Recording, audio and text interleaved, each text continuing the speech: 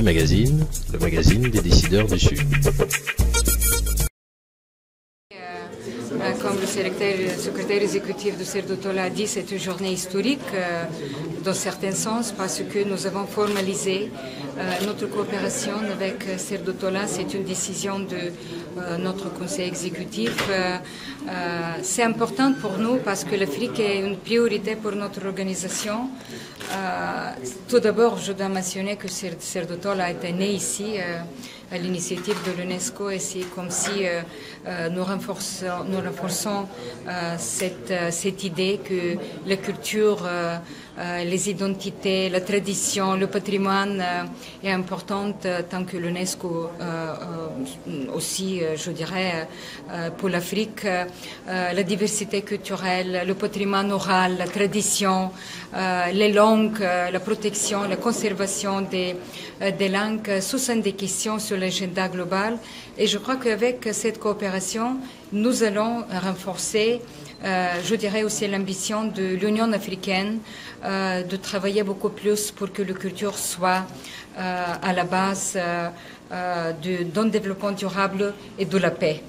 j'ai salué et j'ai félicité et, j'ai remercié aussi Serdotola, qui était un partenaire dans un forum sur la culture de la paix que nous avons organisé récemment à Angola. Euh, nous allons lancer euh, cette grande idée que sans la paix, il n'y aura pas de développement durable. ce sont les deux côtés de la même monnaie. Et je crois que ça nous donnera aussi la possibilité de travailler, comme nous disons, dans les différentes instances, d'avoir une, synergie entre l'expertise de Serre Tola, euh, la volonté aussi euh, du côté de l'UNESCO de euh, travailler pour que l'Afrique soit, je dirais, le patrimoine, les traditions orales et tout, sont plus valorisées à l'échelle mondiale.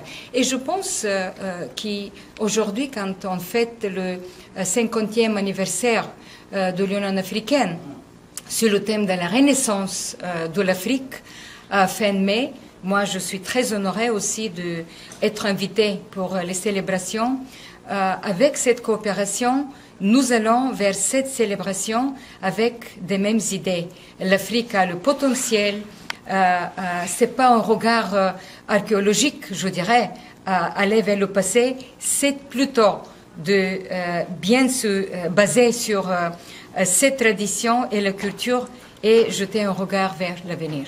Comment vont se traduire en acte euh, la convention qui a été signée? Ah, mais nous allons avoir beaucoup de projets. J'ai mentionné euh, notre conférence sur la culture de la paix, mais nous pouvons avoir beaucoup de projets dans le domaine de la protection du patrimoine, de la diversité culturelle, les industries créatives, euh, renforcer les capacités de, des pays africains de faire valoriser leur propre culture. On a besoin d'une expertise, savoir faire, euh, euh, comment préserver ces traditions et comment les impliquer aussi dans une vie euh, culturelle dynamique aujourd'hui qui existe dans, dans la plupart des pays, je dirais dans tous les pays africains.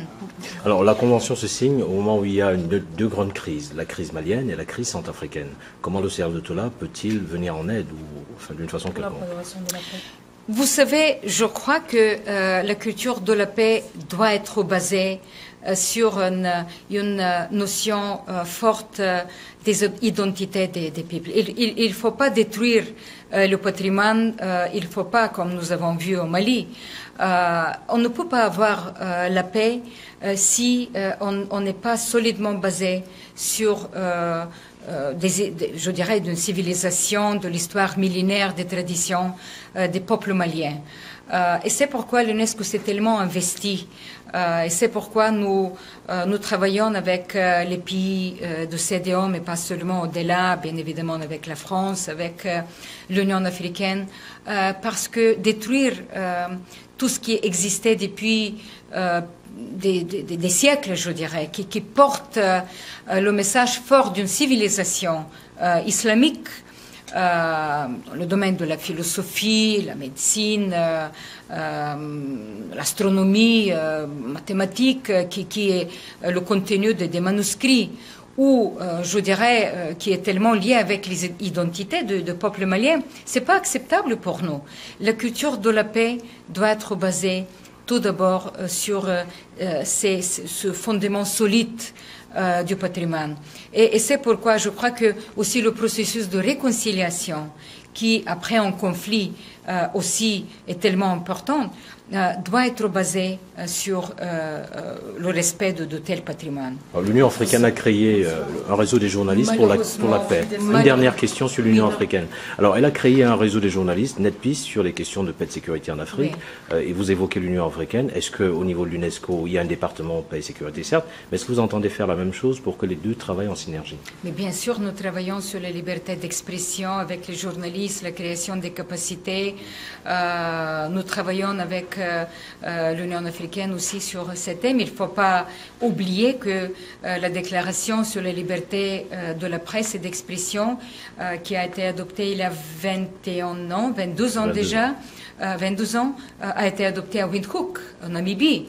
C'est un fort signal aussi de la volonté de, de l'Afrique d'intégrer euh, dans le modèle démocratique et dans le modèle de euh, développement dynamique aussi, euh, sous-côté tellement important parce que sans avoir des journalistes responsables, compétents, avec, je dirais, la notion, la conviction de la liberté d'expression, de, tout ce qu'il apporte à la paix et au développement durable, je ne crois pas que les, fondements solides euh, de, euh, de, ces pays euh, soit, soit possible.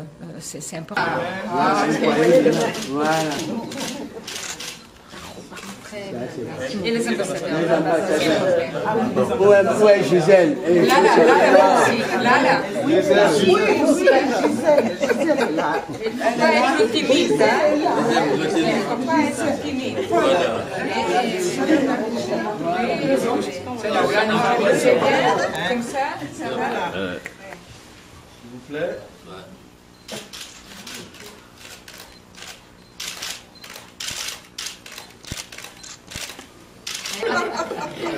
S'il vous plaît.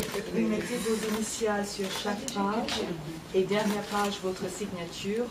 C'est en anglais et en français. Oh, mais il y a un côté de préférence pour elle Non, non, non, non.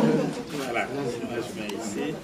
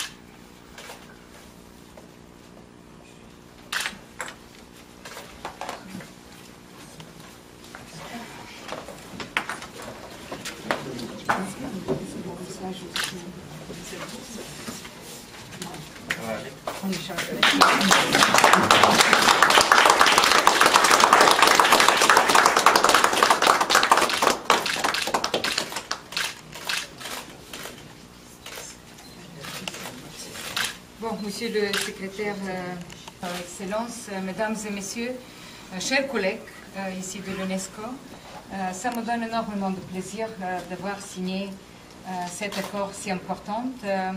Tout d'abord, je dois vous remercier pour votre coopération dans la préparation et la tenue d'une conférence si importante, la récente conférence, conférence sur la culture de la paix à Luanda.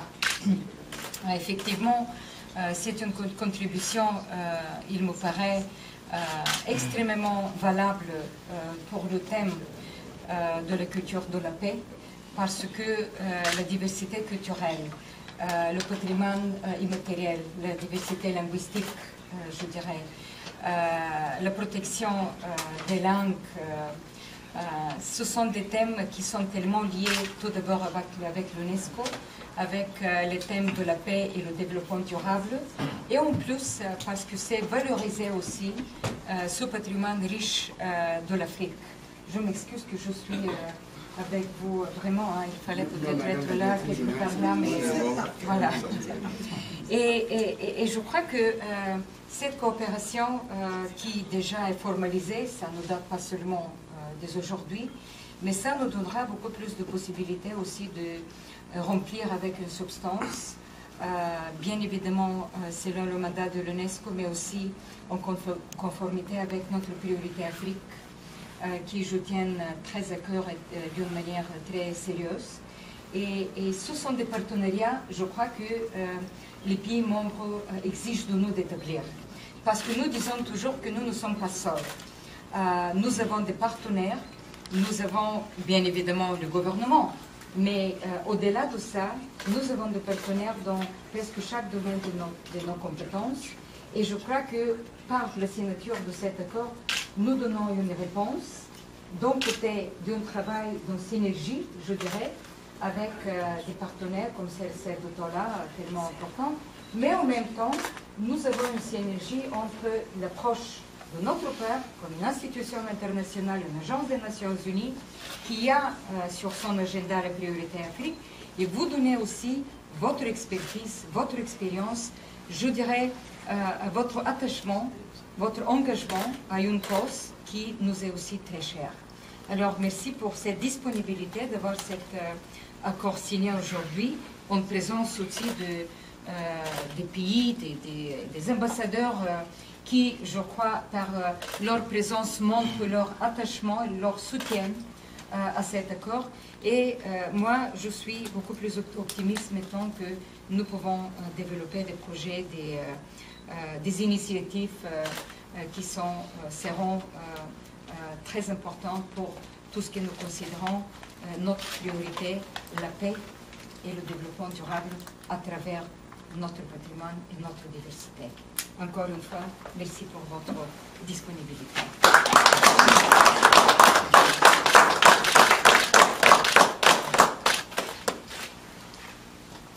Excellence, Madame euh, la Directrice Générale, Excellence, Mesdames, Messieurs les délégués permanents, ambassadeurs et représentants, chers amis ici présents, et qualités, euh, l'envie m'a pris cette nuit de faire un discours. Et puis je me suis ravisé, Madame la Directrice Générale, en me disant, mais Madame euh, Bokova n'aime pas les discours et va toujours droit au but. Alors vous pardonnerez que je vous parle avec le cœur, très simplement, parce que euh, l'acte qui vient d'être posé au nom de l'UNESCO par vous-même, au nom de l'Afrique, par le cerveau à travers ma petite signature, est un acte historique. C'est donc un grand jour pour l'Afrique. C'est un grand jour, j'allais dire, pour l'humanité. Parce que chaque fois que l'Afrique monte en puissance, c'est l'humanité qui laisse tomber une part d'elle-même dans ce qu'elle a de scorie dans son, à travers son histoire. Et vous le savez aussi bien que moi, mieux que moi, étant à la position qui est la vôtre, l'Afrique a souffert beaucoup plus que de tout ce que l'on sait et que cette maison a traité, à faire, effacer ou à faire oublier. L'Afrique a souffert de la négation de son humanité. Il n'y a pas d'homme sans culture. Il n'y a pas d'homme sans production intellectuelle et sans ouverture à la créativité, à l'inventivité, à la capacité euh, de se renouveler dans le temps et dans l'histoire. Et c'est pour cela que le, le Cerdotola, aujourd'hui, qui est lui-même une pupille de l'UNESCO, il faut le rappeler, puisqu'il est né dans la foulée de la décennie sur l'histoire de l'Afrique et sur la tradition, les traditions orales et les langues africaines. Eh bien, le Cerdotola est tout à fait fier d'être accueilli à la maison mère, non pas comme euh, un étranger, mais comme l'enfant, non point prodigue non plus, mais comme l'enfant qui a grandi et qu'on reconnaît qu'il peut désormais prendre sa, sa, part de responsabilité de manière absolument euh, claire et de manière objective sur le terrain des engagements de l'UNESCO.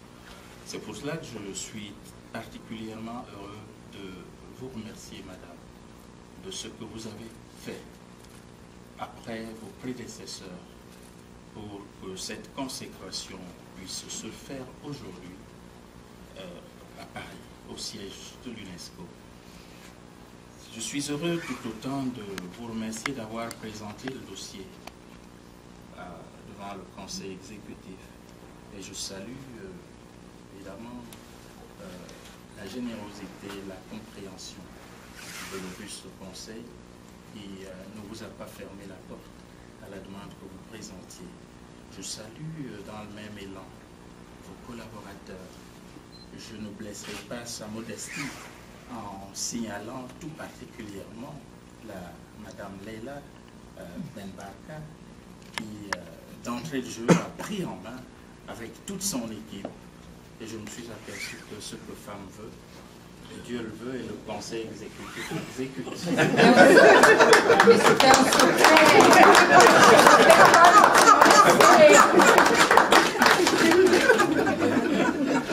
Merci.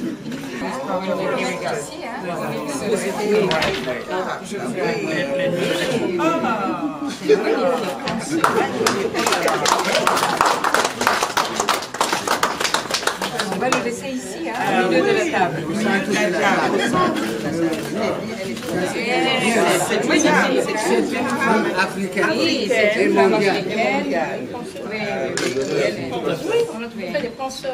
Ça, c'est notre dernier livre avec tous les objets d'art ici à l'UNESCO, parce que nous avons euh, beaucoup, c'est une publication récente. Ça donnera aussi un autre côté de tout ce qui est l'UNESCO ici. Une maison d'art, de beauté, et aussi de la diversité. Vous allez avoir beaucoup des objets aussi africains qui sont ici avec un regard de- du photographe très intéressant. Merci.